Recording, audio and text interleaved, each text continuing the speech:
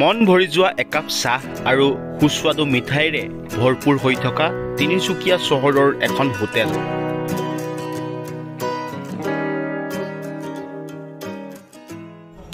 পুৱাৰ পৰা সন্ধিয়ালৈকে কেৱল চাহ আৰু ভিন্ন ভিন্ন সুস্বাদু মিঠাইৰ সোৱাদ ল'বলৈ জিলাখনৰ বিভিন্ন স্থানৰ অগণন লোকে ভিৰ কৰেহি হোটেলখনত।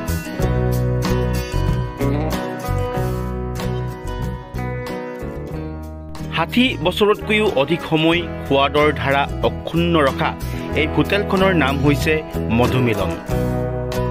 সকলোৰে পৰিচিত হোটেলখন আছে বাণিজ্যিক চহৰ তিনিচুকীয়াৰ নিউ মাৰ্কেটত।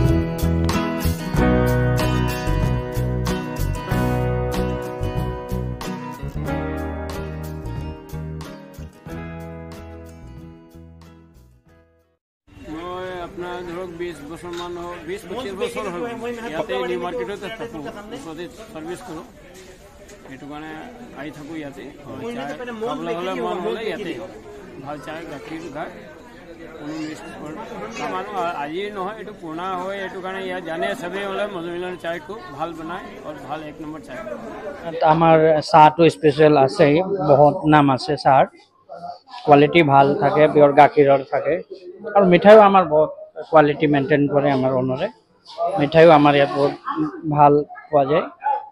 রসমালাই যেনে পেড়া কেশর বরফি বাদাম বরফি রসমালাই সব এইবিলাক গাজর হালুয়া কোয়ালিটি মেনটেন্স করে আমার ওনারে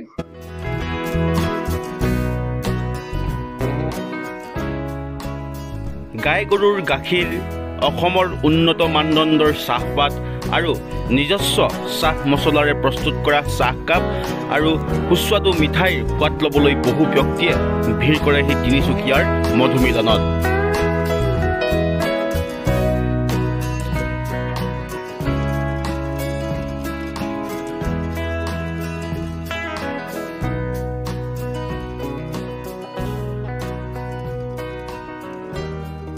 এই হোটেলখনৰ সৈতে বহু সংখ্যকৰে আছে বহু স্মৃতি নষ্টালজিয়া। বাটৰুৱা বজাৰ কৰিবলৈ অহা ব্যক্তি ব্যৱসায়ী বিদ্যালয় মহাবিদ্যালয়ৰ শিক্ষাৰ্থী অফিচ কছাৰীলৈ অহা লোকে তিনিচুকীয়ালৈ আহিলে এপাক সোমাই মধুমিলনৰ চাহৰ সোৱাদ লৈ পৰম তৃপ্তি লাভ কৰাই নহয়। সমীপৰ সৰু বৰ ব্যৱসায়ীসকলেও দৈনিক চাহৰ সোৱাদ লয় মধুমিলনত।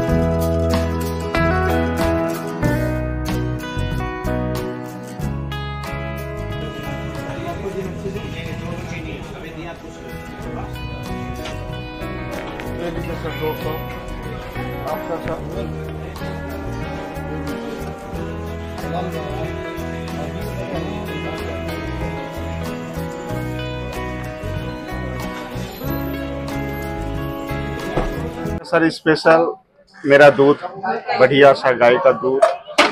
उसके बाद इलायची हो गया अदरक हो गया और अच्छी तरह मैं पकाता हूँ सबसे मेन चीज़ है कि चाय का सर समय पर चीनी देना चाहिए समय पर चाय पत्ती डालना चाहिए दिन में तो सर हम हजार कप तक बिक्री कर लेता हूँ চাহকাপত চুমুক দি বহুতোৰে জমি উঠে ৰখাল আড্ডা গুৰুত্বপূৰ্ণ কথাটো হ'ল যে মধুমিলনত দৈনিক এহেজাৰৰ পৰা দুহেজাৰ কাপ চাহ বিক্ৰী হয় ইয়াৰে প্ৰায় দুশ কাপ চাহ শুভাকাংক্ষী দৰিদ্ৰ সীমাৰেখাৰ তলৰ ব্যক্তি পদপথত জীৱন যাপন কৰা লোকক বিনামূল্যে প্ৰদান কৰে হোটেল কৰ্তৃপক্ষই। ডিব্ৰুগড়ৰ পৰা ৰক্তিম দাসৰ প্ৰতিবেদন লোকেল এইটিন